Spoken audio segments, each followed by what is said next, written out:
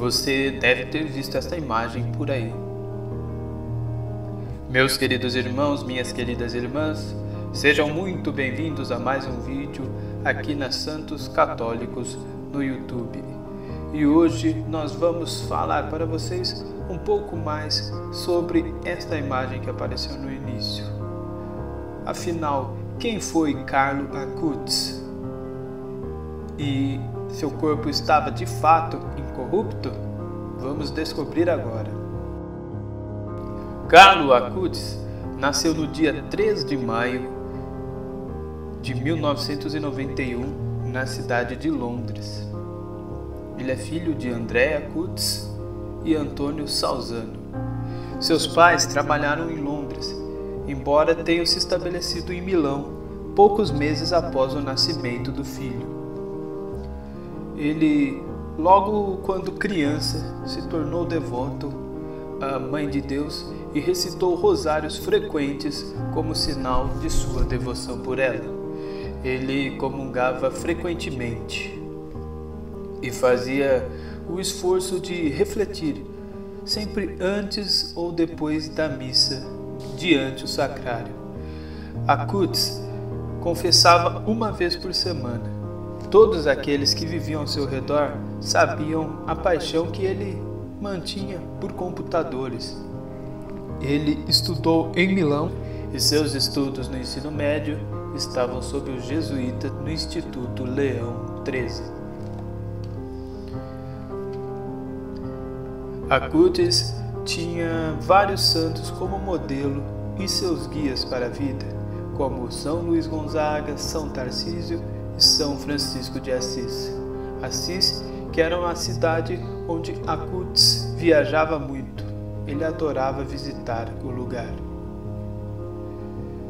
Porém, ainda jovem, no início de sua adolescência, Acutis desenvolveu uma leucemia. Porém, ele não se abateu e ofereceu a sua dor com a seguinte frase: Eu ofereço todo o sofrimento que hei de ter pelo Senhor, pelo Papa e pela Igreja. Em ser apaixonado por computadores levou Acutis a criar um site dedicado à catalogação cuidadosa de cada milagre relatado. E ele fez isso em 2005, embora tenha catalogado cada caso desde os 11 anos. Ele apreciava o modo de evangelizar através das mídias da internet. Certa vez no site, ele soltou a seguinte frase: Quanto mais Eucaristia recebemos, mais nos tornaremos como Jesus, para que nesta terra tenhamos uma antecipação do céu. Acutis nunca reclamou das dores que a sua doença lhe causava sempre respondia que pessoas sofriam muito mais do que ele. Em 12 de outubro, dia que comemoramos a Mãe Aparecida aqui no Brasil, de 2006, Acutis faleceu devido à leucemia. E, como era seu desejo, foi enterrado em Afis, a terra de São Francisco. Logo após a sua morte, Acutis passou a ser venerado e seguido por muitas pessoas. E a relação com o Brasil não ficou somente no dia da sua morte. Quatro anos após o seu falecimento, no dia 12 de outubro de 2010, um milagre atribuído a ele foi realizado no Mato Grosso do Sul, aqui no Brasil, mais precisamente em Campo Grande um padre de uma paróquia trabalhava na divulgação do processo de beatificação de Carlo aqui no Brasil. E aconteceu que uma relíquia de Carlo estava exposta, onde uma parte do corpo e a roupa dele estava em Campo Grande. Um avô que tinha o seu neto, uma criança com problemas no pâncreas que estava raquítica, rezou pediu por intercessão de Carlo para que a criança se curasse. E isso se fez.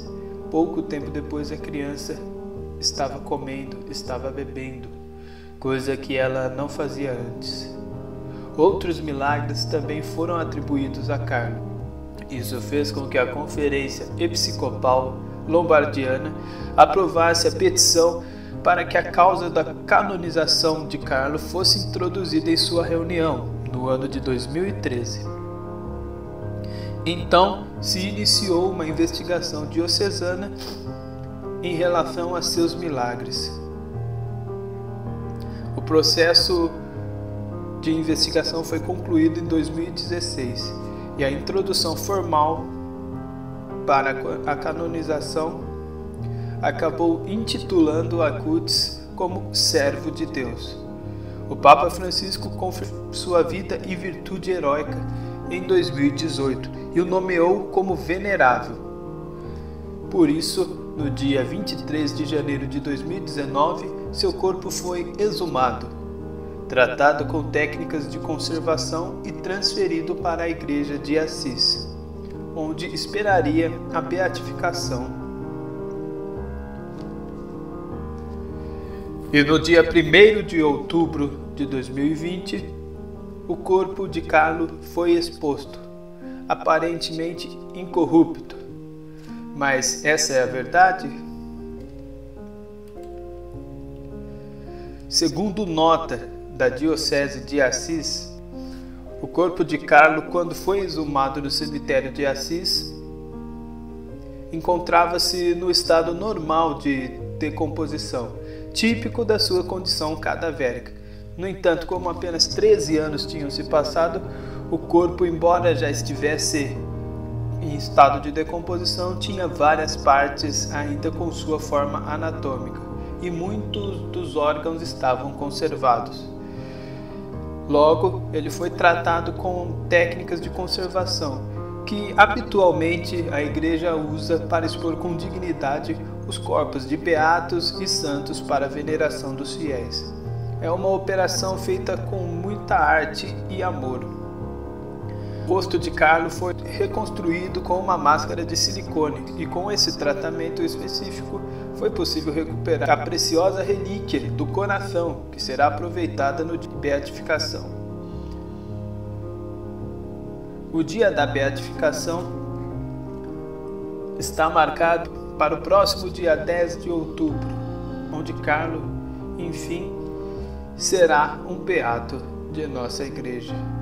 O jovem de 15 anos que seguiu a Deus, evangelizou através da internet, já tem até uma alcunha, o padroeiro da internet.